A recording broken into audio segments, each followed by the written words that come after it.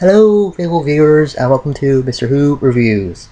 For today, I'll be reviewing Doctor Who Season 3, Episode 3, Gridlock. In this episode, the Doctor decides to bring Martha to New New York, or just New Earth in general, and we get to see a different part of New New York in this rather than the applegrass parts of the upper levels from New Earth. And it kind of like the slums, like where big rats live. Before I talk about that, I just want to talk about what did what they're doing before the doctor decided to bring her to New York. There, he was just deciding that might extend the invitation to Martha, like one trip to the past or to the future, and he's suggesting, well, he suggested another planet, and he just resuggested his world or his planet. It's it's he just called Planet Time Lords. Even I don't get why people are saying that the Doctor species is a is Time Lord. Time Lord is just like like a title, like Sir Elton John or something. It's not it's the name of the species. The species is a frame. Anyway, he's just describing how great Gallifrey is. Just having some lines from the past Doctor Who episode, and out just outright lying to him, lying to her. And I don't think this Doctor has lied that much. No, well, uh, as much as the eleventh one. So probably the first time he lied. Eh. Anyway, they get to the slums of New York, New New York. Find find out that there's some mood drugs. Yeah, mood, mood drugs sounds good, but, but I don't think that there's no no uh, treaties well, well two because I don't know one of them is mood. The two that don't count the mood is forget and sleep. Oh yeah, there's actually a fourth one called called honesty or something. I don't get. I really don't know if it is mood is bliss. You can you can feel bliss, but I don't know if if it's actually a mood, like an emotion anything. Like to have happy, anger, those are moods, like emotions, but bliss. And the other three, I don't know what Russell T Davies was thinking when he wrote that, wrote that in. Um, before the Doctor could do anything about it, the Martha gets captured by these two, finds out that there's a whole city in like like a in a traffic jam where, where with people in like RVs or floating RVs and just, they're just stuck down there and, are some, and I think there's some great lines in this episode by David Tennant like the the talk down gives to the drug peddlers or the stuff with Novice Hame and the face blow, yeah, we see them again. And, and the, the, I think the Doctor in, this episode is a bit more cold than the others. Like saying that they're, the people are, aren't coming for the underground RV people.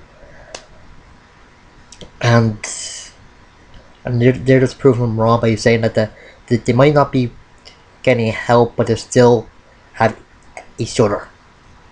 Like everyone in the in the RVs are with each other, so it doesn't really matter if they can help or not. And I take and the traffic jam is just mad. Like it, it takes them about six years to go to go ten miles. That is just nuts. And the effect for some that many uh, cars or something. I don't know what the actually are, so hmm. it's just great for two for the for 2007. This was great for that year. I bet we could, we could do could do more this this year, but hmm. and oh yeah, we got introduced with three new musical music uh, teams, three great ones. Like here, like uh, Doctor Forever, very heroic, and that, and all the strange, strange creatures, very creep, very uh, um, not not very creepy, but just just a bit like uh, like you seem cautious about or something. Um, the second for the Face of Boe uh, song as uh, music number, uh, music's uh, bow, a bit sad, but also a bit up, uplifting a bit. You can actually feel like I don't know actually you can feel, but you feel something when you hear that. It's just good. Uh, let's see. And I, I think I liked a bit where Hame finds Dr. Andy Hug and he just says, Get off, the last time I saw you, you're breeding humans for fermentation. It's just hilarious. And they look at the guy's face that who they're in a car, car or something then. It's just good. just and the guy looks very British with the bowler hat and. It's just it's just great. I think this is a good episode, but I wouldn't place it as one of my favorites. Oh yeah, and Martha this has some good stuff as well. Like thinking stuff over about being with the doctor and her parents not knowing where she, she is and her just her belief that the doctor will save her and uh, turn off the the light or the engines to the van to stop the ma- eye from the creatures from coming. And oh yeah, the creatures, macra. A, a kind of lobster or crab like aliens they used to be in Doctor Who. I think I think they just they just ruin them in this. Like the last thing they're in in the class series was Warriors of the Deep, and a lot of people hate that episode. I can barely remember it, but I don't. But say it was bad. And this is just putting, just making the macra worse. Could did an, any other make up a new species that was crab-like. Why did they use the macra? It makes no sense. They were intelligent for peace sake.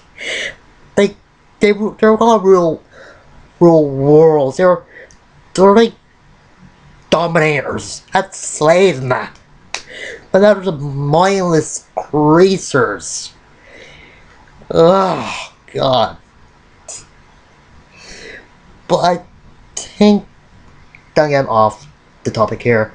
This episode isn't for in good from the villains being in it. It's more emotional based episode. The Doctor feeling guilty about bringing Martha to his base and getting her captured. Yeah, I don't think that's the same, but uh, um, Martha second guessing being the Doctor, and just the Doctor feeling about that he lied about about Gallifrey and that. And the last scene in this is just great. Just them talking and it's all about Gallifrey, the war, and just just good. And the song that the people on the highway says uh, sings, I can barely understand it. And when they're singing it, I don't think. I think they're just. They're just. They're, they're, I kind of. Their lip movement isn't in line. I can't tell who's singing in this. Ugh. Anyway, I give this a 9 and out of 10. Uh, and next episode, uh, I, I just pray that it's actually I just say it's goofy, has some sick stuff. Some really, really sick stuff. And that's to be one of the worst episodes that Doctor Who has ever done. I'll see you later.